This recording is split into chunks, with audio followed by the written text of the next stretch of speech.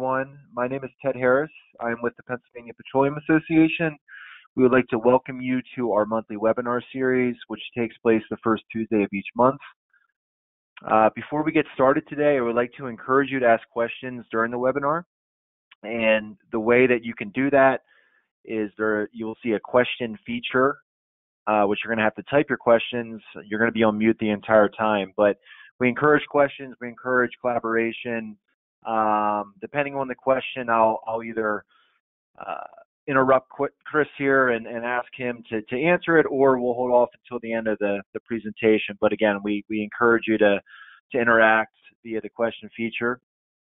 Um, at, at this point, excuse me, at this point, uh, I would like to introduce our presenter, which is Chris Brablc, who is the Senior Director of Marketing for Tank Utility. Uh, Chris will be, will be presenting the third annual Delivered Fuel Customer Survey Report. Chris, I'm going to pass it off to you at this time. Well, thanks so much, Ted. And uh, I'm really excited to be here today. Um, you know, we, we had um, some research that we did um, this past year um, around some of the uh, your customers and kind of what they're looking for uh, when they're looking at delivered fuel. And I'm really excited to share the data today.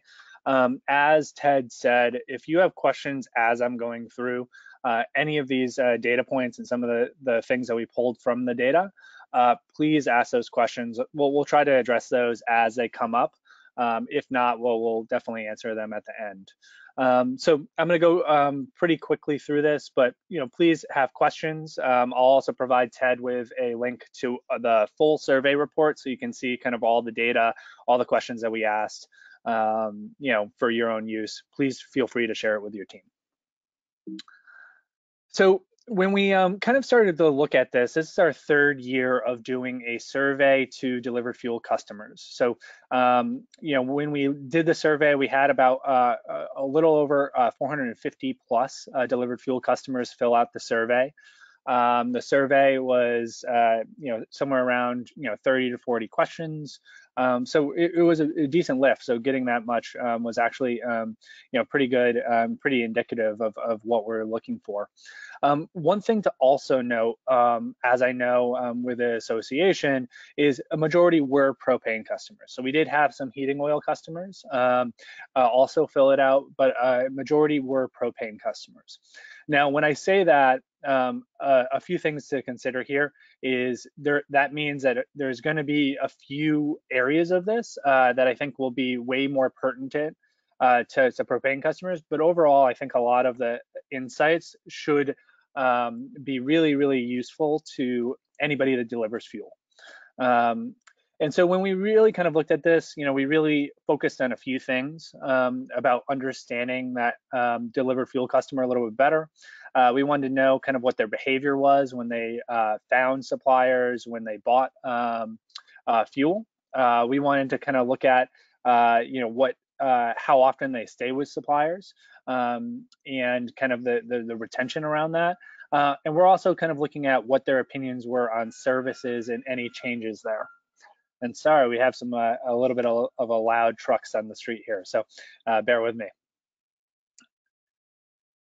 Now, when we look at um, the overall group, uh, this is kind of a good, in, interesting mapping of kind of where people were from um, in terms of uh, the, the, people that filled out the survey, uh, and also kind of a look at the types of customers. So we kind of broke it out with will call, um, automatic customers, and you know folks that that didn't provide that information so um, you know as you can see we kind of uh, have it um, across the us um, and you know a, pretty uh, good uh, complement of people on will call versus people on automatic so what are we trying to, to learn here? Well, you know, we kind of focus on four main areas, as I said. Uh, we wanted to look at acquisition. So how customers uh, choose their suppliers, how do they find them, how do they decide on those? Uh, second, we wanted to look at retention. Um, so why do uh, customers stay uh, with their suppliers, but also why do they leave? Um, and so we have some data on that. We wanted to look at pricing you know what were customers willing to pay for fuel and services and if there was any things that they they wish they had uh, when it came to uh, paying for fuel and, and, paying for that service And then last but not least, we wanted to look at kind of the communication, you know, how customers want to communicate with their fuel supplier. What are good ways that we interact and engage uh, with those delivered fuel customers? And so this will be kind of the basis of some of those questions and some of the insights that we have. So when we start started, we want to kind of uh, uh, understand a little bit about how customers are actually finding their suppliers. Um, you know, is it through you know some uh, advanced marketing campaigns? Is it um, you know through mailers and anything else? Um, what we saw uh, when we asked kind of how you found your fuel supplier is a, a large majority were from a previous relationship and some some uh, capability. Now you probably ask uh, you know any uh, fuel uh, fuel marketer, and they'll they'll mention referrals being um, the best source of new customers. And again, we saw that true in the data, right? We we we definitely saw that. Um, but we also saw, you know, repeat customers when it when they were previously a customer of that, or customers that inherited a house or inheriting a building that was already served and already had a tank from that supplier. And so previous relationship is a really, really key point here. The one other thing that we saw that that was also really interesting is when we thought uh, saw about um, customers that didn't have a previous relationship, web search was by far the biggest. And so, you know, when we kind of look at this data, the two things that I, I would just say, you know, and, and, start thinking about, and you probably already have, is um, for referral programs, how do we actually make that something that's sustaining? Um, and how do we get referrals at every stage of the process? So, you know, uh, when we make a good delivery, are we asking for referrals? Um, you know, I think most businesses and, and most people, um, you know, probably we don't ask for referrals enough um, of our customers. And so building a program that allows you to systematically do that um, can be a real boon for your business, especially as you're looking at new customers. I think the second part that's really important here is what what is your search presence on Google? So if somebody's searching for um, you know, heating oil delivery or propane delivery um, in your region uh, on Google, are you are you listed, right? Are you appearing on that Google map? What do the reviews look like um, for your business? Um, I think you know having good reviews on your uh, local listing on Google um, is going to be really, really important. Um, so how do we get more of those reviews? Again, I, I, think you know you should really be focusing on how do you how do you uh, make those asks um, throughout the process of your customers because more than uh, more than likely your customers are willing to um, have that uh, conversation and give a good review if you ask uh, and you've done something well.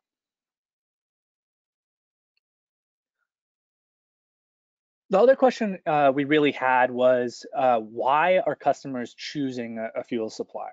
Um, I, we will, we all know that um, fuel uh, is a competitive uh, pricing market, um, and, and, most likely, you know, um, especially for will call customers, they're getting multiple prices.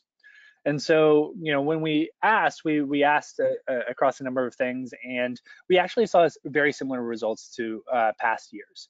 Um, price was number one. Uh, and then relationship or customer service was number two. Um, so, so again, this this fell into uh, what we expected.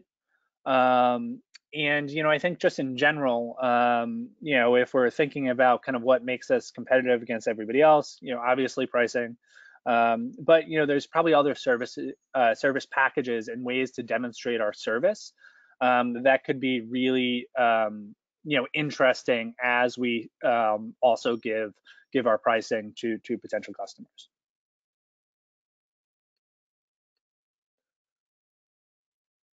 And so that's a really kind of where we look at uh, customer acquisition, um, but then we also want to take a look at well, why do people stay, um, or why why do people leave their fuel supplier? And so when we think about it, um, you know, one thing we first asked was we wanted to kind of just know and level set the delivered fuel experience uh, next to other common experiences that the, uh, those customers might have. And so we asked them to rank the fuel uh, delivery experience compared to other retail experiences from, you know, shopping on Amazon and, uh, you know, e-commerce to consumer electronics to your ISP providers or, or wireless providers with Verizon, AT&T, uh, or other utilities that you do. And overall, for the second straight year, fuel delivery was the second rated, um, you know, behind e-commerce.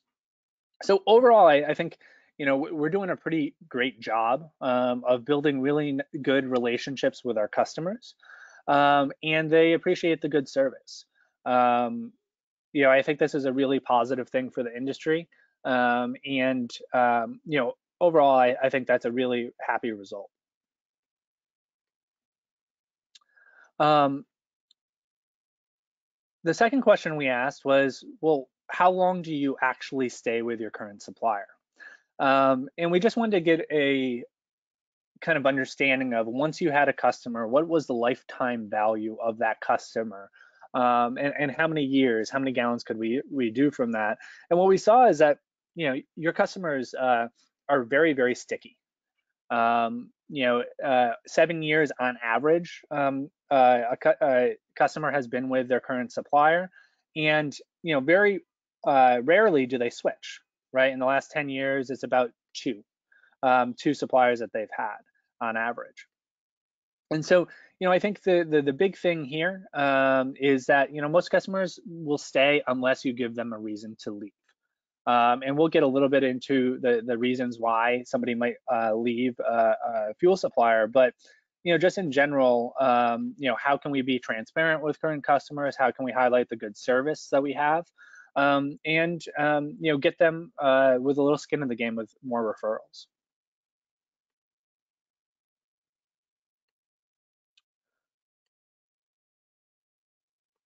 Um, so this goes to as we're looking through this, right? Where we're seeing that uh, we have a really sticky customer, um, but there are customers that switch. And so when we think about uh, why customers might switch, um, we asked them a, a, few questions, right? We said, hey, was it a run out? Um, was it that that somebody moved and uh, they, they ultimately had it? Uh, was it because of price?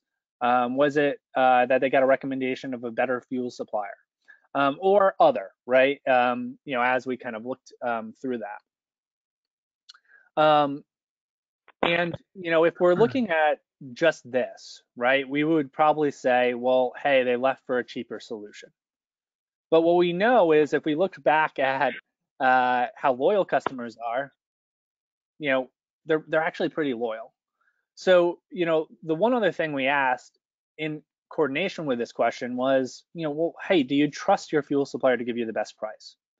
And a majority said yes, right? About two thirds said, yep, I, I, trust that. And so, you know, I, I, think the, the big thing here is, well, what, we often look at price as that that thing of, of why uh, customers leave. And yes, the price has to be reasonable um, with that. But, you know, most people are not checking price um, of their uh, of their fuel supplier, and they trust their fuel supplier to provide that. And so they're not checking price unless you give them a reason to. Hey, Chris. Yep. I got I got I got a couple questions here in the last yeah. um, few minutes. Uh, can you clarify on the, on on some of the stats you're talking about right now? Are are you looking at this from a holistic perspective, or or are you breaking this down from a will call versus automatic delivery customer?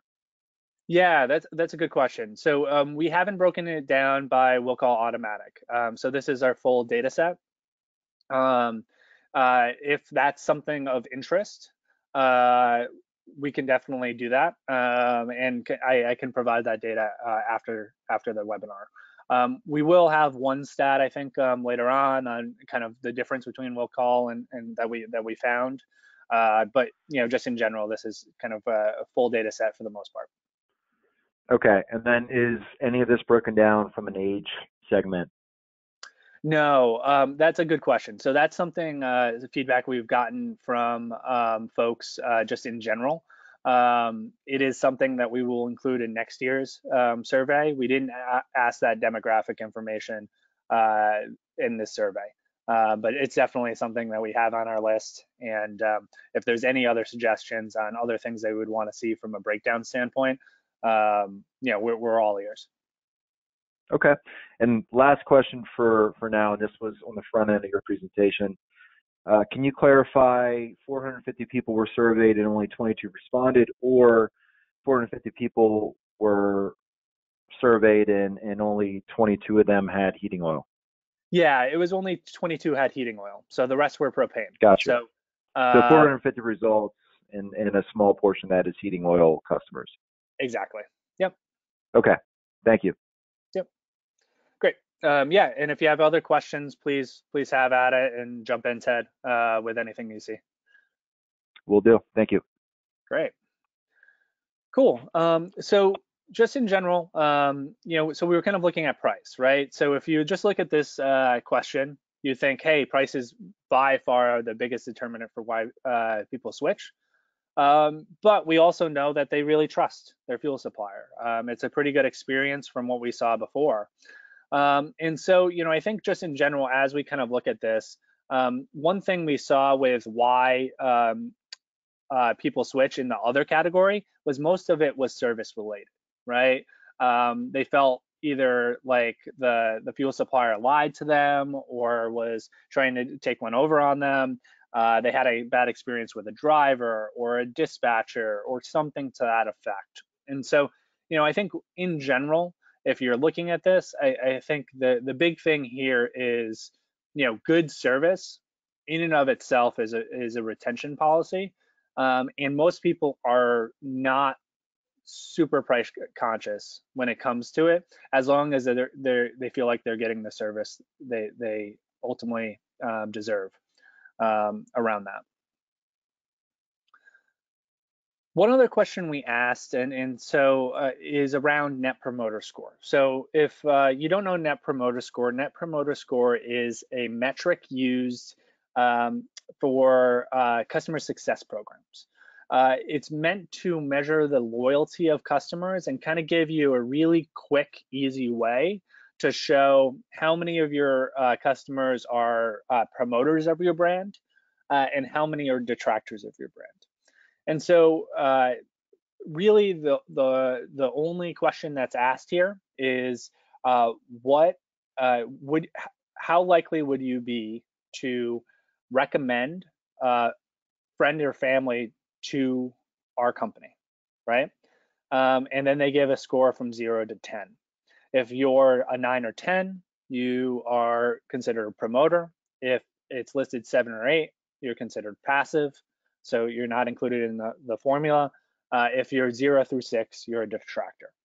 And then usually there's a question of why um, after the fact as well. So we basically just asked this of, of um, on, on a few different scales, uh, which you know we'll share now. Uh, but again, it's a it's a really quick way to kind of get a um, a finger on the pulse of your customers and kind of where they're at when it comes to uh, not only you know them potentially referring you, but also just you know how you're doing from a service perspective. And so here's kind of a, a, really interesting look. So we basically uh, took every um, uh, every respondent, uh, looked at um, their, um, we asked them, uh, you know, how likely would they be to recommend their fuel supplier to friends and family. Um, and here is here are the results when it came to region by region of you know those that were promoters, those that were you know kind of um, uh, passive um, in in their um, you know area, and those that were below average. So they were detractors. And so when we kind of look at that, uh, you know, this is a kind of just an interesting look at you know the different areas that uh, are in and um, you know their, their experience with with fuel delivery. What we also saw and what we asked about was, you know, does uh, monitoring also help? right? Um, and where we were interested with that is, you know, is there like a transparency with having a mobile app and, and things like that that that improves that experience?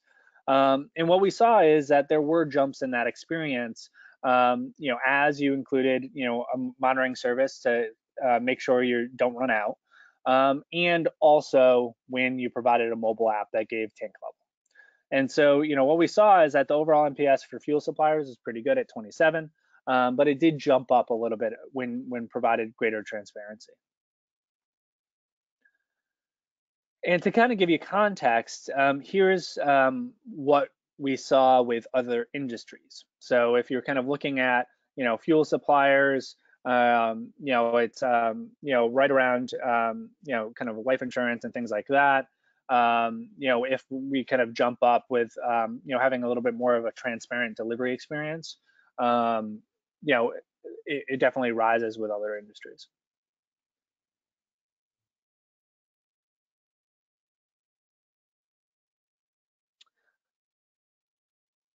All right.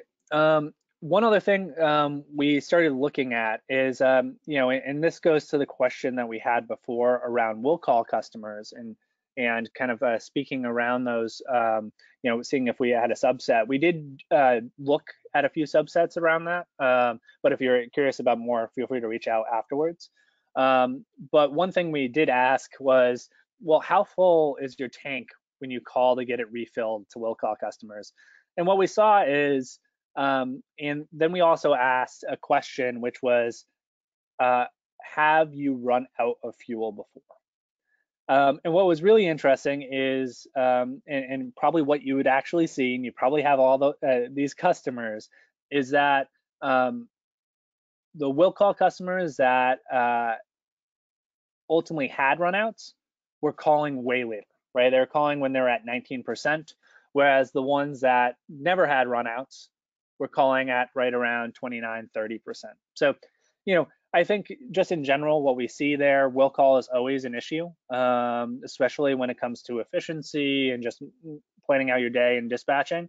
Um, but we've seen um, a lot of uh, marketers start to have more we call programs.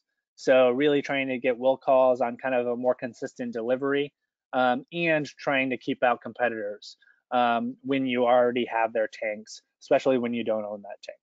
Um, and so that basically is just them um, keeping them on a, a, a schedule um, and giving them a call saying, hey, you know, I think you you might be at, um, you know, might need a delivery soon.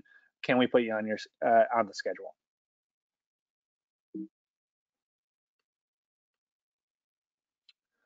Cool. So we talked about uh, you know how customers are finding uh, their fuel supplier, um, and a lot of it's through referrals and um, web search. We talked about a little bit about retention and how we have a really sticky customer, and that's really because we're actually delivering a really great uh, experience when it comes to delivered fuel. Um, and so you know when we're talking about that, um, we we also want to look at that. Um, we know that price is a, a, really big contingent on how um, customers actually think about that fuel supplier, but we also know that experience impacts it as well. Um, but we wanted to really dig a little bit more into price, see uh, about the types of pricing options that that customers were actually looking for, and also uh, what other services we could provide. Um, so just in general, um, you know, we first wanted to look at um, how often someone checks price, right? So, um, you know, to that point before when we were talking about retention and, and people leaving for price, most people trust a fuel supplier to give them the best price. And so uh, we wanted to know, well, how often do you actually check fuel prices? Um, whether that's heating oil, propane, uh, the area. And we saw that all customers, it was about 26% uh, did it every time or said they did it every time they needed delivery and then a majority of them either did it not at all um, or once once a year, right? So I think just in general, when we think about pricing, you know, people are are less apt to check pricing um, than than we'd probably expect. Um, where we did see a little bit of change between automatic and will call was um, in that will call customers were way more likely to check it every time. This is probably because they they want more control over that delivery cycle. They probably own their own tank, which um, you know just in general um, you know makes it so that they can actually dictate those pricings. Uh, but just know that your will call customers again are, are going to be checking pricing a little bit more often than than your automatic, which makes sense. Um, and again, you know, we, we've seen uh, we call strategy be uh, be really, really successful in preempting that conversation. So, you know, if they call you, most likely than or more likely than not, they're also calling somebody else. But if you call them, um, they might not even think about calling somebody else. They they might just uh, get get included in your next delivery de delivery dispatch.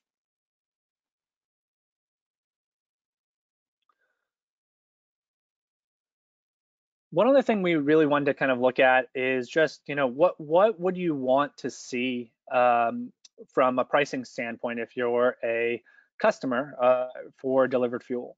Uh, and we wanted to know if there was any other attractive uh, pricing options um, when we do that. Um, and, what we saw is that, you know, I think in general, um, pretty much everybody's doing variable price during delivery, right? You get a delivery, you get charged whatever that price is, which makes sense, right? Uh, it's easy. It's how the uh, industry has done it um, for years. But we were wondering if what would the appetite be for other things, right, and other types of pricing methods um, you know, uh, when we looked at that. So we looked at, you know, fixed price through year, um, a fixed monthly payment. Um, so that's kind of more pay as you go um, and things like that. Um, annual prepay. Um, you know, I, I think um, what's interesting is that a lot of customers are willing to put uh, money up up front um, potentially and true up at the end. you know, if that that makes sense. So you know, I think just in general, um, you know, I think the the big takeaway here is not that um, we should be shifting everything around. I think the model works pretty well today, um, but there might be an appetite for other types of pricing options, methods that um, uh, customers might be willing to to try. So it might be worth being a little bit creative on the pricing side.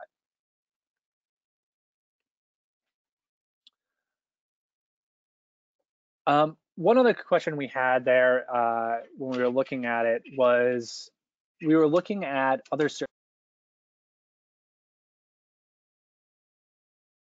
we were looking at other services we could provide and um, one to see you know what what that is um, you know obviously we're a tank monitoring company and so we were curious on on the tank monitoring side um, and what we saw was actually really interesting right um, that that we saw that uh, about 61% of all, customers were willing to pay for a tank monitoring service in some capacity. Um, now, most chose that that lower price, uh, which would cover you know tank fees and things like that. Um, but that was interesting. Um, the one other thing we also wanted to take a look at is, well, could there be any more incentives um, that we could provide that would be interesting, um, you know, to customers, and would they be willing to pay a little bit more? And so while we did this in the, the light of tank monitoring, um, I think the other thing about, around this is that this could be used in other instances, right? Um, and um, you could also, you know, see an impact whether that's trying to win a new customer um, or other services you provide. So, you know, we looked at both a price per gallon discount. Um, so, you know, hey, if you uh, subscribe to our tank monitoring service, we'll give you five cents, uh, one to five cents off uh, price per gallon. Um, we've actually seen marketers do this um, and be really, really successful um, with customers that do it. They feel like they're getting something uh, back, and you're getting the efficiency savings because now you know what's on their uh, in their tank. Um, and then I think the other thing is a no run out guarantee. Um, and so what we saw is that in general, um, no run out guarantees, probably you could command a little bit more um, when it came to kind of the services, um, but both had a, a, a, pretty positive impact on your ability to charge um, when um, you know adding a, a few small incentives um, to customers around that. Now, the big thing here, I, and you know, I think is the the logistics challenge of charging different customers, uh, different things, and and understanding, you know, who who are subscribing to these services. Um, and, and, so I totally understand, um, you know, some of the, those uh, logistical uh, challenges around that. But you know, really interesting about you know other ways to uh, make make customers feel like they're getting value.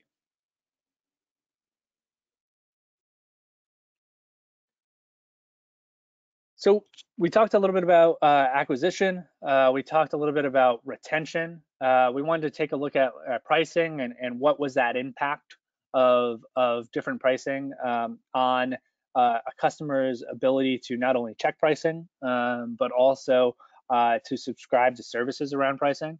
Um, the one last thing that we really wanted to look at is communication. Um, you know, as um, you know, we've seen in, in delivered fuel, you know, it's a little bit different than any other utility I might use, right? Um, you know, I, am paying uh, per delivery versus, you know, a per month or, or a subscription. Um, and just in general, our communication with folks is, is a little bit different. Um, one thing, and this is probably the biggest change we saw from year to year uh, with our surveys, was that we asked what your preferred method of communication was with your fuel supplier. And in 2018, uh, phone was was still king, right, with email trailing. Um, but we saw a huge shift um, in uh, phone versus email. Um, what this could be um, is a few things. Like first, I think the, the person asking around demographic information, I wish I had it. um, for this, right? I, I, think there's probably uh, something to be said there. Um, I, I, think also, I think we, have been kind of trained to get communications um, uh, through email versus phone calls. Um, you know, uh, and, and, that's probably progressively um, going to be the case.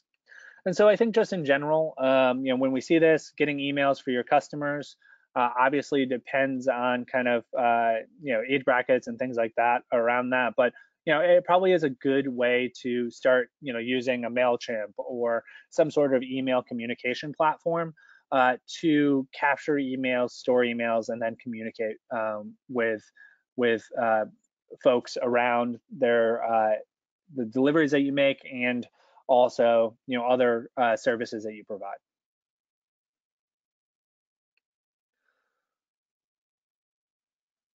The other question we had was, well, how often do you hear from your fuel supplier, right? Um, you know, if we're um, thinking about it, and again, you know, to that point where we might be making, you know, two to three deliveries to a customer, right, a year, and so do they just hear from us two to three times a year, um, if that? And so, you know, we we asked, um, you know, how often does your fuel supplier communicate with you?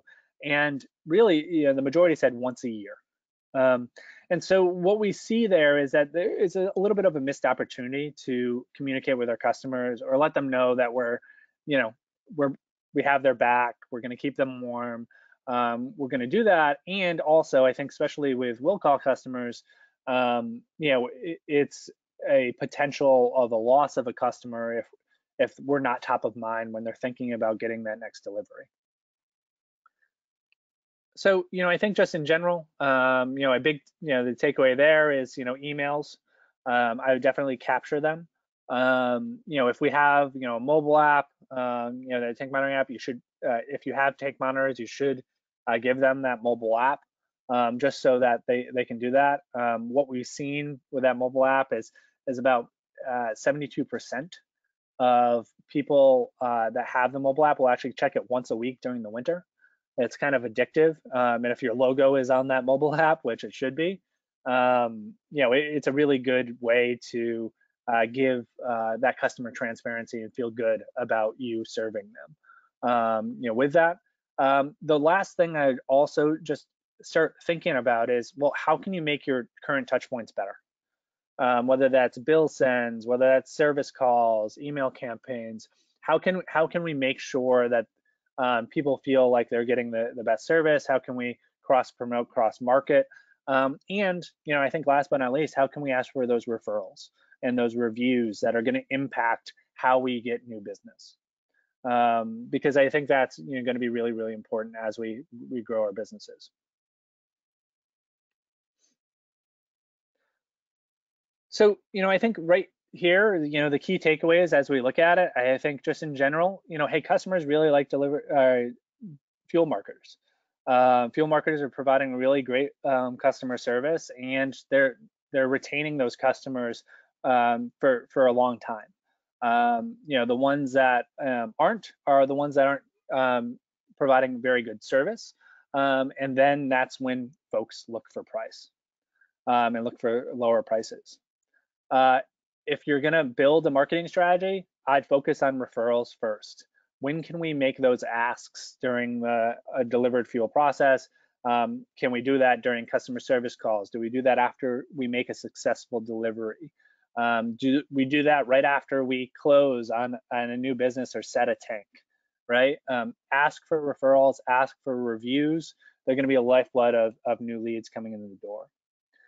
Uh, tank monitoring services could be of interest, right? If you have tank monitoring, think about services, right? What can you provide um, to customers? And even if you're going to give it to free to customers, um, let them know that they have it so that they feel trusted, um, that it, it, works as a retention tool for them. Um, you know, I think in general, um, if you're looking at it, you know, happier customers, we, we saw that, you know, people that uh, providing transparency in terms of their tank level, in terms of their delivery schedule is a real good reason for people to recommend that customer uh, and that fuel supplier to to other potential customers. And so, you know, make sure transparency is going to be really uh, important. And you know, let's see how can we communicate with customer more than once a year, or the once a year that they actually think that they're getting uh, communicated with.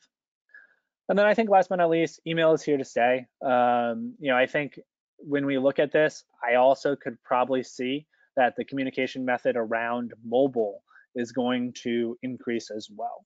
Um, and so, you know, how do we, you know, shift um, some of it to email, um, start capturing email addresses, but also, you know, think about that that mobile piece, that SMS piece. That that might be a good communication method um, going forward around alerts and, and everything around that. So, um, you know, that's going to be a big thing. So just in general, um, a little bit about us before we end, and then I'll get to any other questions. But you know, hey, we're a tank monitoring company. Um, where we really differ is, you know, we really want to help your business grow. Uh, we want to provide a seamless experience that gets monitors out there quickly, uh, that provides actual data on your accounts. And so, like, how are you doing with being efficient on um, X, Y, Z uh, customer? um, and, and being able to actually really dig down on a customer by customer level. Uh, and then last but not least, you know, create a really good experience with transparency with mobile technologies that allow you to really see and, and capture uh, referrals uh, with folks. Um, you know, if you're interested, feel free to reach out and uh, we'd be happy to discuss a little bit of how we're different um, and, you know, how we can actually help your business.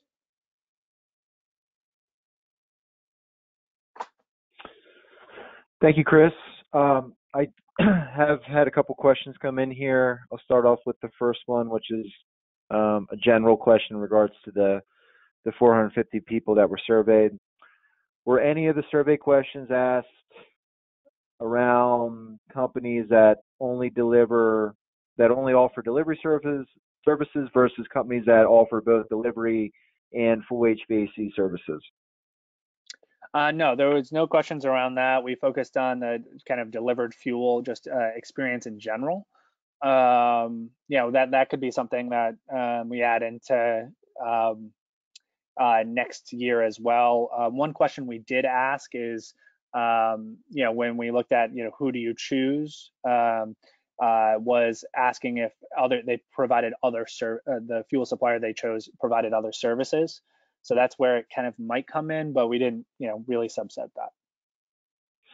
Okay, but but it was possible that some of the respondents, you know, had a company that that not only delivered propane or heating oil, but they also offered HVAC services. Is that is that yeah. fair to say that that's a possibility? Yeah. Okay. Yeah, that's definitely possible. Uh, okay. Um, when we say price, is it just fuel is there any data regarding customers that leave due to higher service department costs?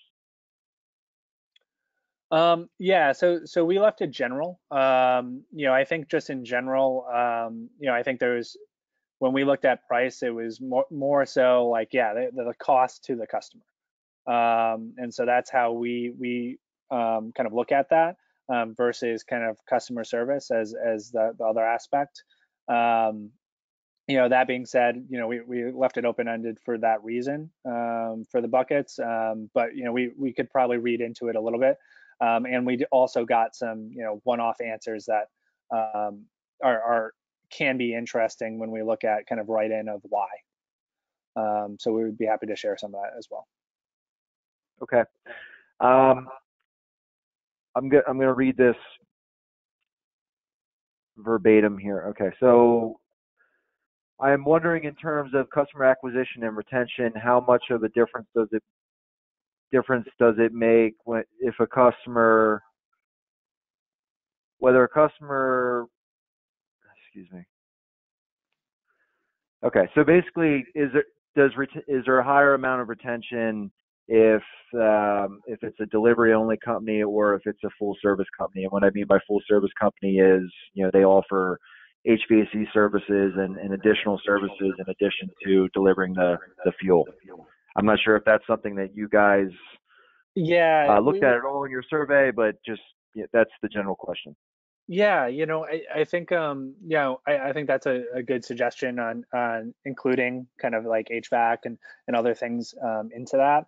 Um, for this survey, um, we didn't look into that um, fully, right? Um, we we had you know some questions on on why you chose.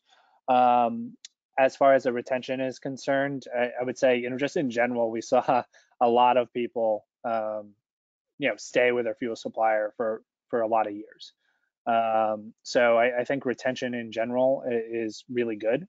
Um, you know, whether uh, HVAC and other services also um, improve that, I, I, I, would assume they do, um, but um, we didn't, we don't have hard data on that. Okay. Um, at the moment, that is all the questions that we received. I'm going to give it a couple more seconds here. Um, we will, anyone that's attending this, you will receive a an automated message tomorrow morning at 9 a.m. with a replay of this webinar. And as Chris mentioned, we will also include a link to download their full uh, delivered fuel report. Um, at this point, since we don't have any other questions, we're going to wrap this up. And Chris, I would like to thank you for presenting and for your time. And thank you everyone else this morning that joined us. Um, I hope you all have a good day. Thank you.